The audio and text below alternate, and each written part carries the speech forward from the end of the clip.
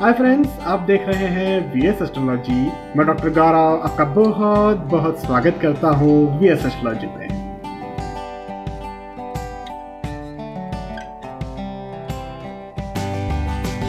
दोस्तों, पिछले वीडियोस में हमने चर्चा की है मेष लग्न से लेकर के कुंभ लग्न की कुंडली के जो जातक हैं, वो कौन कौन से रत्न पहन सकते हैं और कौन कौन से रत्न उनके लिए वर्जित हैं।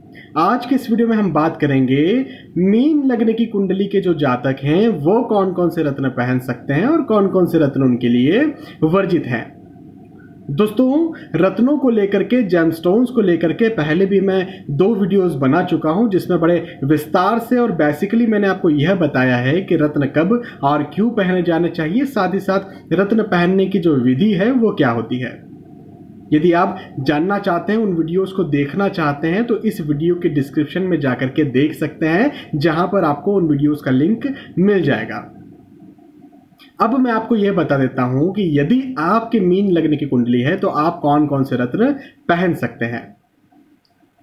दोस्तों, गुरु या फिर बृहस्पति का रत्न पुखराज या फिर येलो सफायर इस कुंडली में बिल्कुल पहना जा सकता है। इसके बाद में चंद्र का रत्न मोती या फिर पर्ल भी पहना जा सकता है। फिर मंगल का रत्न मूँगा या फिर रेड कोरल, यह भी पहना जा सकता है।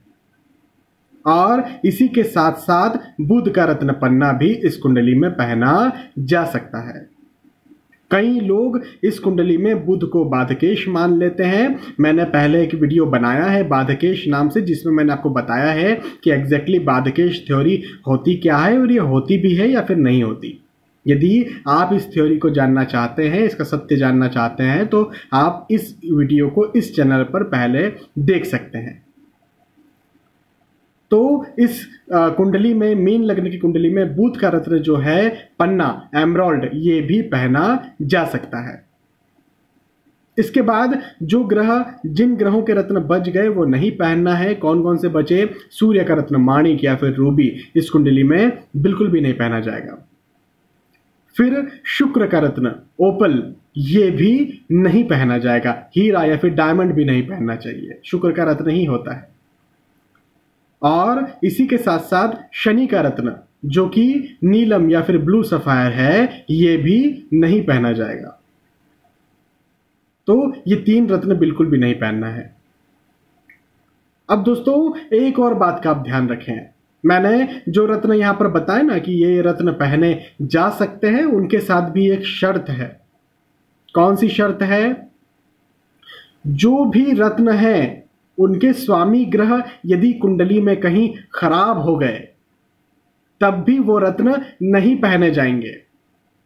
चाहे मैंने आपको बताया यहाँ पर कि वो रत्न आप पहन सकते हो, लेकिन उन रत्नों के स्वामी ग्रह कई कुंडली में खराब है। खराब का मतलब होता है नीच राशि के हो गए, तीसरे, छठे, आठवें या बारहवें भाव में जाकर के बैठ गए, तब भी उन रत्नों को, उन ग्रहों के रत्नों को नहीं पहना जाता। तो इस शर्त को आप समझ गए? हाँ यदि वो ग्रह जो मैंने आपको बताया, जो रत्न मैंने आपको बताए वो रत्नों के जो स्वामी ग्रह हैं, वो यदि कुंडली में कहीं अच्छे बैठे हैं तो ज़रूर से उन रत्नों को पहना जा सकता है।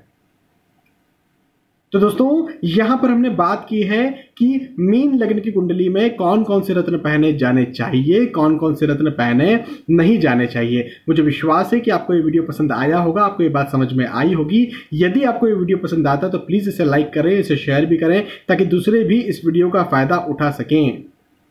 दोस्तों, आपने वीडियो देखा, आपका बहुत बहुत धन्यवाद। बाय